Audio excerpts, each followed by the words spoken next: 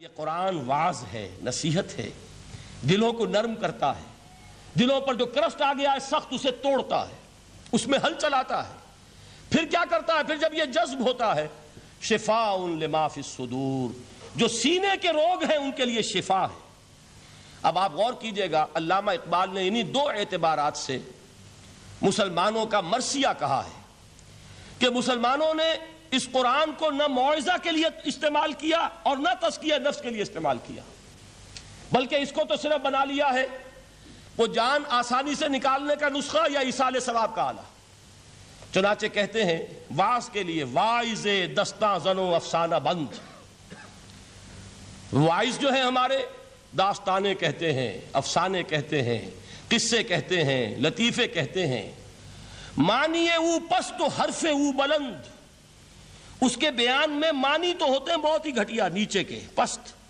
अल्फाज का शिको होता है, अल्फाज बहुत ऊँचे होते हैं। अज खतीबो दैल में गुफ्तारे बाज़ीफ़ो शाजो मुरसल कारे सारा वाजो नसीहत जो हो रहा है, वो ज़यीफ़ हदीसों के ज़रिए से। ज़यीफ़ रिवायात रिवायात बुखारी की हो, मुस्लिम की हो, तिरमिजी की हो, इब्ने माजा की हो। कहा खतीब बगदादी और दैलमी? वो किताबें कि जिनकी कोई सनद नहीं है। वहाँ की रिवायात के ज़रिए से लोगों को तस्कीर करने की कोशिश कर रहे हैं। बाज़ीफ़ो शाजो मुरसल कारेहू ज़यीफ़ रिवायात, शाज रिवायात, मुरसल रिवायात, जिनका सिलसिला रिवायत मोहम्मद रसूलुल्लाह तक मुतसिल नहीं है, इसके ज़रिए से कर रहे हैं। हालाँकि मुआवजा सबसे बड़ा मुआवजा ये कुरान था। कुरान कहता है, खुद फजक्र बिल कुरान खाफ वईद। मोहम्मद सल्लल्लाहु अलैहि वसल्लम, आप इस कुरान के ज़रिए नसीहत कीजिए। ये कुरान है जो दिलों की सख्ती को ख़त्म करेगा, गुदास पैदा करेगा। दूसरी तरफ़ अल्लामा इकबाल क्या कहते हैं? कि जहाँ तक हमारे यहाँ जो भी तसव्वुफ के मारूफ हल्के हैं सूफिया हक की बात नहीं कह रहा, वहाँ कव्वाली हो रही होगी तो हाल आ जाएगा।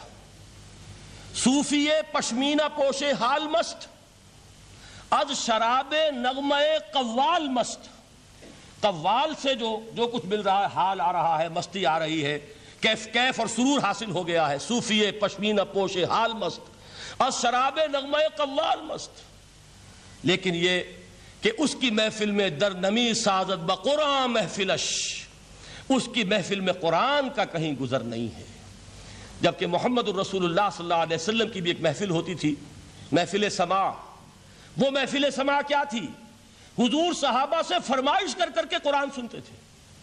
हज़रत अब्दुल्ला इब्न मसूद रज़ी अल्लाह तु की रिवायत मौजूद है कि मुझे एक मरतबा हुक्म दिया हुजूर ने कि कुरान सुनाओ। मैंने अर्ज़ किया, हुजूर, आपको सुनाऊं? आप पर तो नाजिल हुआ है। तो हुजूर ने फरमाया, नहीं, मुझे किसी और से सुनकर कुछ और लुत्फ हासिल होता है। अब इम्तसाल अम्र में हज़रत अब्दुल्ला इब्न मसूद रज़ी अल्लाह तु ने सूरह निसा पढ़नी शुरू की। इकतालीसवीं आज पर पहुँचे, चश्मे तस्वुर से देखिए कि हुजूर भी तशरीफ़ फरमा है, साहबा कराम की महफिल है। और साहबा कैसे बैठा करते थे अदब के साथ? एक रिवायत में अल्फाज आए, ऐसे बैठते थे, साकित और सामित होकर। बिल्कुल खामोश, सुकून, साकिन और साकित और सामित, कि जैसे उनके सरों पर परिंदे बैठे हैं कि ज़रा जुम्बिश करेंगे तो परिंदा उड़ जाएगा। इस अदब के साथ। तो वो महफिल जो है, हुजूर सल्लल्लाहु अलैहि वसल्लम की और एक सहाबी हज़रत अब्दुल्ला इब्न मसऊद गर्दन नीची किए हुए हैं और कुरान पढ़ते चले जा रहे हैं। जब इस आयत पर पहुँचे फ़कै फ़ैज़ा जे ना मिन कुल्ल उम्मतिन बे शहीदिन व जे ना बेकाला हाउलाए शहीदा। क्या होगा उस दिन? जिस दिन के हम हर उम्मत पर एक गवाह खड़ा करेंगे और है नबी, आपको गवाह बनाकर लाएँगे इनके खिलाफ। आपको ये टेस्टिफाई करना होगा कि अल्लाह तेरा जो कलाम मेरे पास आया था, मैंने पहुँचा दिया था। अब इनकी ज़िम्मेदारी है।